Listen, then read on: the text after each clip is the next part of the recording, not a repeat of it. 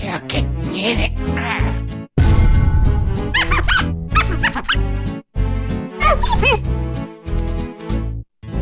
Marvelous. Yo, what's good? Welcome back to the channel, y'all. And look, look, look. In today's video, we're gonna go over the Mexico City offline regional that just took place yesterday, 928 2024. I don't got the top 16. Nope. I don't got the top 32. Nope. So, bruh, just don't ask me. Don't ask me because I don't got it. We got the top eight. But before we start, let me know below what you guys think the topping decks are for this offline regional. Everybody said it's Lucci. Newsflash, ain't no Lucci in this whole entire top eight.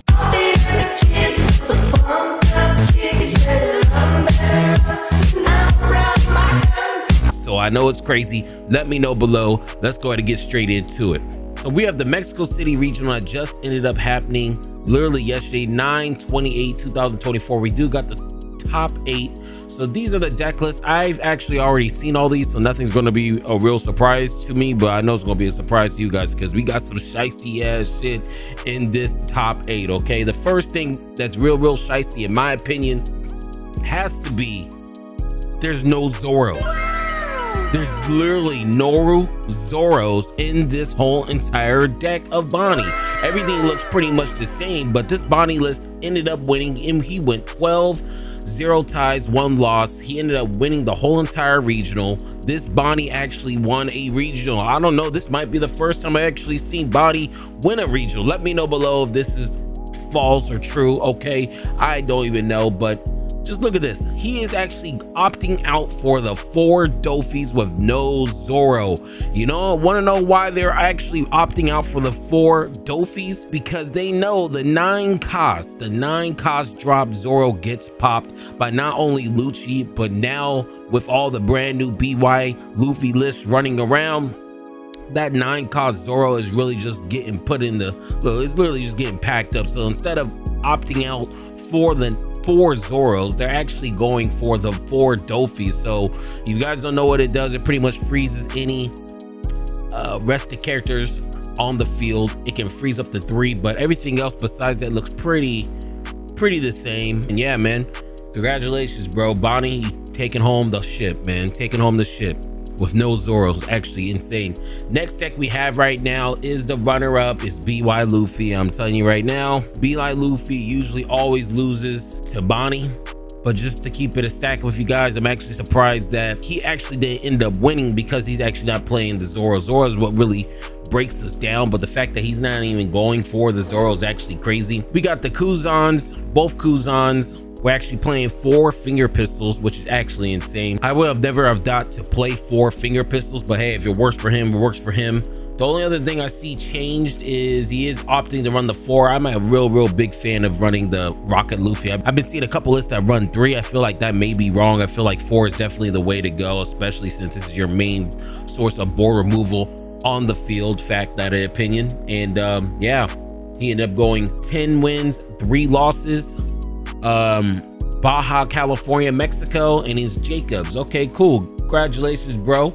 You got yourself a top eight finish at the Mexico regional Mexico City regional with my favorite deck of all time. Let's go ahead and go straight to the next game. Not the game the next list. Okay you think I'm over here playing a fucking game on the sim right now but we're not we have the black Luffy list right now I ended up making a how to beat video on this deck. So if you guys are really unsure to really how to really play against this deck, card at the top, you see the thumbnail right now. Tap in, tap in, gang, type in. But this guy ended up going 10 wins, two losses. And um, just looking at the list, he's playing two Tashigi, four Brook, four Rebecca, how many Geckos? Four, two Ishus, four Jack, four Kuzan. This actually kind of looks like probably one of the most cookie cutter black Luffy list out there. I mean, I don't really see anything really to change. He's running three T-Bone, three Nico Robin, three Sanji. I see some people opting out for two to probably boost up this Nico Robin just so they have more cost reduction. But besides that, this looks like a really basic, you know, cookie cutter list. Congratulations, bro, Jose. And um, you went 10 to 2, bro. Bringing home the ship.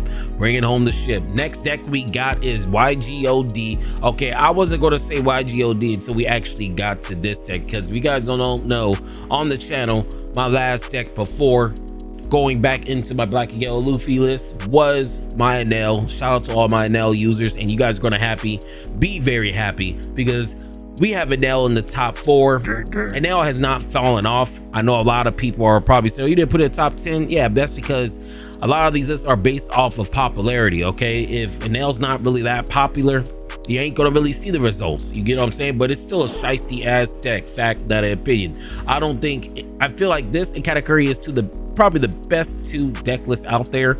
But just looking at the list, he is actually opting out for the four aces. That's actually crazy. I usually don't see lists with four aces. He has the four, especially since he's actually playing the two Enel as well. This is actually a very shisty ass list. He's playing the two Enel, the four aces, is actually opting out for the two Kingdom Come instead of three. I'm a big fan of three because you end up, you know, using these two, you're pretty much asked out. But he's actually just running the two, the four. You're the one disappearing. He's actually running the four Nakabushi. So this is a very shisty ass list. He's running the four, four. So this is a trigger happy build. This is really just a trigger happy build early and mid game and then late game you just start drawing and putting out the beaters. And another thing we're actually noticing, he actually only runs the two Katakuri. Oh, this is a shisty ass list. This list is shisty. Congratulations, Edgar and uh, for their top four finish. But this is crazy. This has to be one of the most shisty ass lists I've ever seen top any event. He got the two Katakuri, he got the four Nakamushi, he has the four You're the One Disappear, only two Kingdom Come, he got the four Portuguese Ace. I mean, this deck is shisty.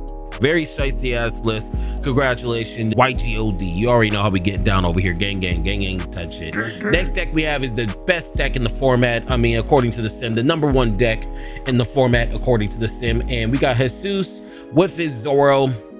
Um, he ended up getting a top eight finish, but just looking at his list, I don't really see anything too surprising, to be honest with you. I mean, he is running the Monkey D. Luffy. I don't really see a lot of lists running Monkey D. Luffy, and that's the reason why he is running two. I don't really see these too often. But besides this particular card, everything else looks pretty the same. Okay, uh, congratulations to your Zoro, the best deck in the format according to the sim, and um, he went nine and two. So congratulations, bro. You're playing the best deck in the format. You better win, right?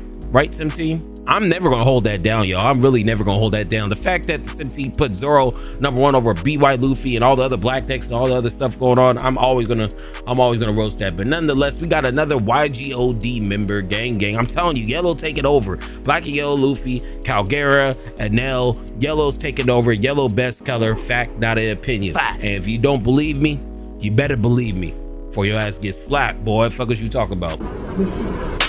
Ah, But we are back. We are back. We have the Kalgara, and Kalgara ended up getting a top eight finish, going eight wins, three losses. He probably bubbled out. Not bubbled out, but he probably got a loss.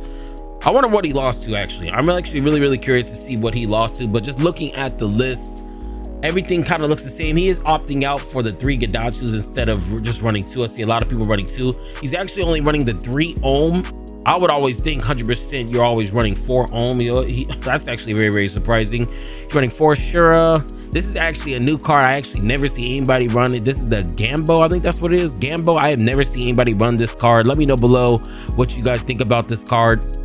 This this card is actually a random card. I don't even know what this. Tell me what the utility is with this card. But besides that card, he's running the three Wyper for Nolan. He is actually running the two Katakuri. Okay, so you know, I ended up seeing a lot of lists not running this and the fact that this top eight deck did run this maybe this is something you guys need to try out i actually never tried out this card before because i always figured if i'm going to run this katakuri i might as well just run the ace you know what i mean one costs more and you have a 7k attack but uh he is also running the 2-2 split right here with two rushing um, cards just to have some pressure. He is running the three door. I see a lot of people run four, but I guess three work for him. And yeah, everything else looks pretty much the same. Congratulations, Ricardo. You got a top eight, bringing home the ship to mommy, okay? Or to your girl, whoever the hell you're with. I don't even know if you got a girl or not. So let's go ahead and continue. Last list. Is this the last list? I don't think it's yeah, I don't think this is the last list, but we have another top eight finish. Black and yellow Luffy. He ended up going nine and two. I'm wondering how he ended up just going nine and two and still having a top eight. I would think he might have been top four, but you know, it is what it is. He ended up getting, like I said, top eight. He had four Kuzan, um, two Ice Ages, two. He's actually not running the the um what's it called the aces. I don't know how I feel about that. He is actually running the Sabos. How do you guys feel about this Sabo? I've been seeing a couple people play this Sabo. I'm not a fan of this Sabo. Now, I'm also not a fan of running Kuz four Kuzans because late game, Kuzan's kind of like a throwaway card. I feel like you're only running Kuzan just for your one to six Don turns or probably one to eight Don turns really for the Kuzan. So, you know, late game when you're dropping your geckos, I'm not really a big fan of this Kuzan. That's the reason why I dropped it down to two personally. But hey, the four worked for him. I see a lot of lists running the four, but let me know what you guys think of this Sabo down here. I would have for sure, for sure would have thought this would have been a Borsalino at least, but he's actually going with the yellow Sabo. We actually have another YGOD member as well. Like I said, we taking over this bitch, fact, not an opinion. And this is Alexis deck profile and top eight performance. Congratulations, bro. I appreciate you putting on for the gang. You know what I mean? And we actually have another BY Luffy list from Joshua. This guy's actually from Canada. So Canada, stand up, stand up from Canada. Hey, baby, where's your iPad? Oh, right, you're not cool enough. Top eight. Let's see what's actually different in this list. Um, everything almost kind of looks that he's actually running the four Sabo. He actually just went balls to the wall, four Sabo with the two ice ages with the four searchers. So this is another shiesty ass list. Let me know what you guys think about this Sabo below because I'm actually not really too sure about these Sabos. I actually never tried it, but I just know late game this Sabo is actually dog water because if you guys summon this Sabo late game and you don't have nothing in your life, you pretty much don't even get your effect. You pretty much have a dead card in your hand. This card, not only just this card, but Kuzan this deck in particular really looks like a you know early mid game type of deck to have some type of board control and also being able to you know pretty much unstarve yourself if your deck is getting starved because a lot of people end up doing that. So i can understand why he is playing the four sabos and the four kuzans. Just late game. I don't know. This card's almost kind of like this card where it's kind of dead. These two you have eight cards dead at the end of like when it's time for you to get the 10 dons. So you know, hey, it worked for him. And if you guys do try out this type of deck where you are running these sabos let me know below what you guys personally think of this particular list. Okay, just with the sabos, really. Okay, so yeah, this is pretty much all the deck list from the regional. Let's go ahead and see if we missed any. So yeah, and the person that won was this Bonney champion. So congratulations to the champion. Congratulate everybody else. Let's see what the people are talking about. No carrots she actually or he actually isn't running any carrots. Let's see what people say. No carrots, no nine cost Zoro either. Interesting list. I wonder if they chose Bonney over Carrot because of the Jack and the meta. Um, same, okay. Says OPOA, Carrot sucks until the new structure decks come out. He got a negative two. This character, Carrot, is Bonney, my guy. My most Bonneys run three to four. Yeah, this guy probably doesn't know what he's talking about. He probably just started playing One Piece. Just, just started just talking, just talking. This guy's over here rapping. I have no clue what he's saying. Definitely rapping right here. And he said, what's the use of the Gedatsu? Um, same use in most yellow decks removal.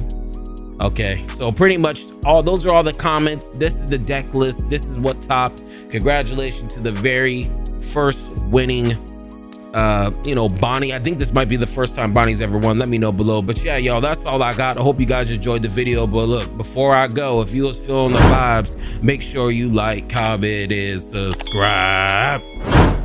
It out gone